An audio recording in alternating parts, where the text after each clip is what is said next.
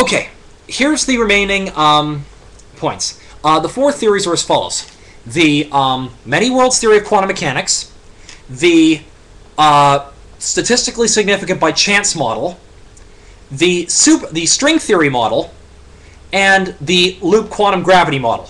Uh, God did it model, and uh, with my theory, and I'll get to that in a second. Um, string theory basically postulates there was a universe before this one. It coalesced, and uh, another plane um, of string theory of strings um, merged with our universe, coalescing with dark energy simultaneously. That created an explosion back outwards. Um, and we can test for that probably.